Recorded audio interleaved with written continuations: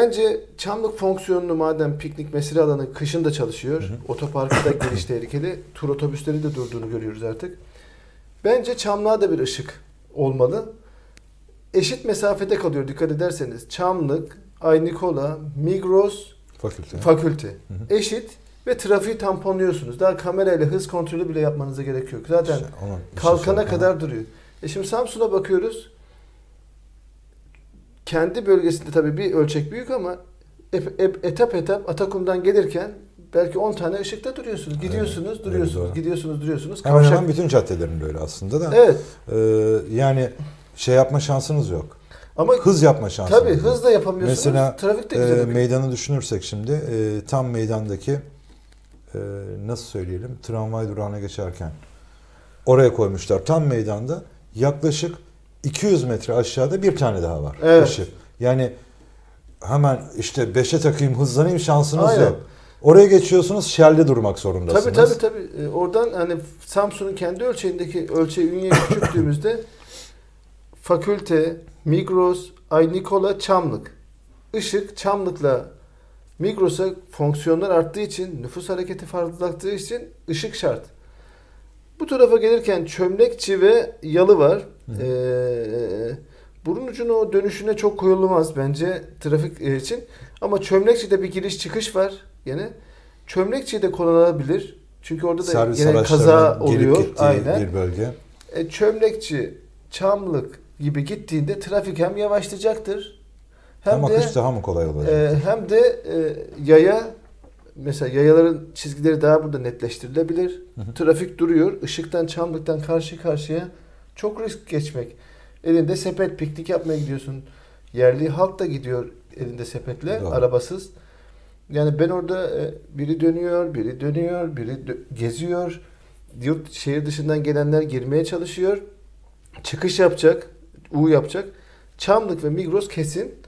Çömlekçi'ye de gene yapılırsa bence bu tarafın trafiği e, bence e, hem tamponlanmış olur. Çünkü hız yapıyor insan gençler işte veya farklı dışarıdan gelen de yapıyor e, gibi.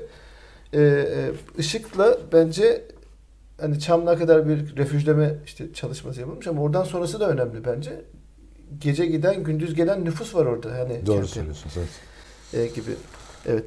Bir de tabii burada bunların dışında en önemli şeylerden biri Ünye'mizin yıllardan beri beklediği E5 dışında, Niksel Caddesi dışında bizim bir e, Saray Caddesi dışında eski aynı kola inen bir aksoda Fevzi Çakmak Caddesi de eski karayolu. A- alternatif bir bulvar yok. Kent gelişmiş. 130 bin, 140 bin olmuş. Atatürk Mahallesi'nde işte oturuyoruz, oturduk veya Fevzi Çakmak'ta. İkinci bir aksla da ben şuradan gideyim de e, gideceğiniz bir aks yok. Yani bulvar yok. E, bulvar deyince mesela Samsun'da e, e, Atatürk Bulvarı mı deniyor? Üst taraftan Evet, geçen Atatürk eski Bulvarı. bulvar bulvar deniyor. Hı. Samsun Bulvarı. Herhalde bir önceki dönemlerde hala ismi anılarak alınıyor. Muzaffer Önder yapmış diye biliyorum.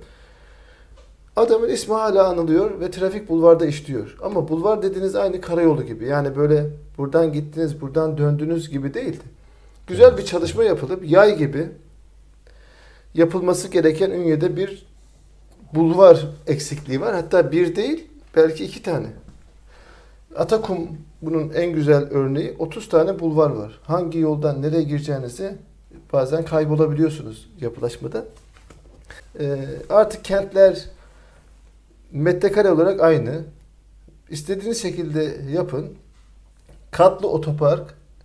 Bursa en büyük örneği benim gördüğüm zamanında. Hı hı. İki su basmasına göre bir iki kat aşağıya, üç dört kat yukarı. Önce kamu yapacak. Sonra özel işte bir e, özel teşebbüsümüzde bir Evet. şey bize bırakın. Biz yer gösterimi Evet, yapalım. hatta söyle katlı otopark yapalım. Katlı otopark bu kentlerin artık gelecekteki sorunu. Hani yeraltı diye değil. Bazı insanlar yer altına inmek biraz e, kullanımda şey olabiliyor. E, cazibesini arttırılabiliyor. Mesela e, Büyükşehir'in şimdi arttırdığı 8 lira yaptığı Hamboğazı'ndaki otopark. Çok Evet. geç. Bir kat aşağısı kazılın, kazılsın. Bir kat aşağıya bir bir kat aynı büyüklükte kaç araba alıyor atıyorum? 200. 200 araba aşağıya bir hafif rampayla rahatlıkla gelebilir. Bir katta silüeti bozmayacak şekilde de bir kat da yukarı. Bir kat. Üç katı oldu mu? 200, 400, 600. E şimdi sen 8 lira yapacağını o zaman 4 lira rahatlıkla yaparsın. Niye? Belediyelerin yaptığı şey otoparklar kar amaçlı olamaz. Kamuya hizmet eden belediye nedir? Kamudur. Belediye, Ünye Belediye'mizin Atatürk Parkı'ndakini takdir ediyorum. 4 lira turizm bölgesi. Kullanacaklar, yemek yiyecekler. E sen şimdi 8 lira insanlar e, her şeyi hesap eder olduk. Mesela oraya bir kat aşağıya, bir kat orta, bir kat silüeti bozmadan, beton yığıntısı yapmadan, e, görüntüsünü böyle reklamlarla süsleyen bir kat da yaptınız mı 200, 400, 600. Bu bölgenin otoparkın direkt e, karayolundan da giriş verilmeli. Tabii bir sürü çözümler üretilmeli.